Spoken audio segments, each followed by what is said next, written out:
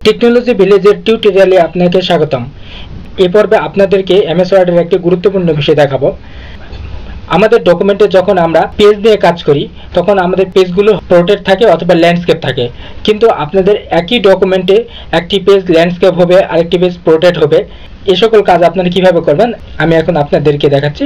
যেমন, বর্তমানে আমার এই পেজটি পোর্ট্রেট পেজ আমি জুম সাইজটা ছোট করলাম, দেখুন, আমাদের এই পেজটি পোর্ট্রেট পেজ তারপরে আমি যদি এইখানে আরও কিছু পেজ ইনসার্ট করি, এইখানে দেখুন পেজ লেআউট ট্যাবের অধীনে পেজ সেট আপ সেকশনে এখানে ব্রেক নামে একটা বাটন রয়েছে।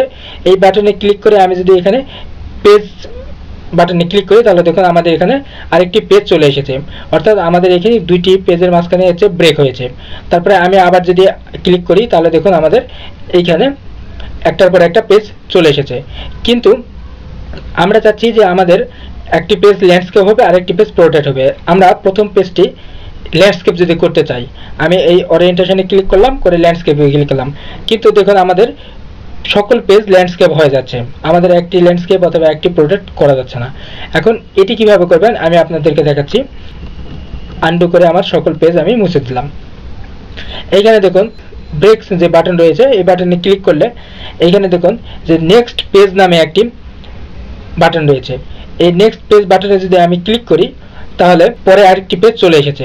তারপরে আমি যদি প্রথম পেজটাতে ক্লিক করি, করার এটি যদি আমি ওরিয়েন্টেশন গিয়ে আমি ল্যান্ডস্কেপে করে দিলাম, দেখুন আমাদের প্রথম পেজটি ল্যান্ডস্কেপ এবং পরের পেজটি আমার পোর্ট্রেট তারপরে আমি যদি আবার এখানে ক্লিক করে আবার নেক্সট পেজে ক্লিক করলাম, করার পর এখানে কার্সর এনে আমি আবার যদি এখানে ওরিয়েন্টেশনে গিয়ে ল্যান্ডস্কেপ করলাম, দেখুন আমাদের প্রথমটি ল্যান্ডস্কেপ পরেরটি পোর্ট্রেট এবং পরেরটি ল্যান্ডস্কেপ এভাবে আপনারা এই ব্রেকে ক্লিক করে নেক্সট পেজে ক্লিক করে করে একটা পেজ থেকে আরেকটা পেজে গিয়ে আপনারা এই একটা পেজ ল্যান্ডস্কেপ অথবা একটা পেজ পোর্ট্রেট অথবা একটা পেজের আপনি মার্জিনটা একরকম, আরেকটা পেজের মার্জিন আরেক রকম, এভাবে আপনারা করতে পারেন। এখানে যদি আমি, আমার ডকুমেন্টে যদি দুইটা কলামে বিভক্ত করি, আমি এইখান থেকে আমি এইখানে যদি যেতে চাই, আমাদের কারসরটি বর্তমানে এই জায়গায় রয়েছে, আমি যদি এই কারসরটি এই জায়গায় নিয়ে যেতে চাই, আমি জুম সাইজটা বড় করি।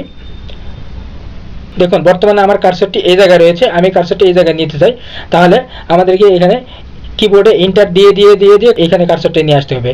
কিন্তু এভাবে ইন্টার দিয়ে দিয়ে না নিয়ে গিয়ে এখানে ব্রেকে ক্লিক করে আমি এই যে কলাম যে বাটন রয়েছে, এটাতে ক্লিক করলাম, দেখুন আমার কারসরটি সরাসরি এই জায়গায় চলে এসেছে। এভাবে আপনারা একটি কলাম থেকে আরেকটি কলামে কলাম ব্রেক দিয়ে আপনারা কারসর নিয়ে যেতে পারেন এবং সেই জায়গায় টাইপ করতে পারেন।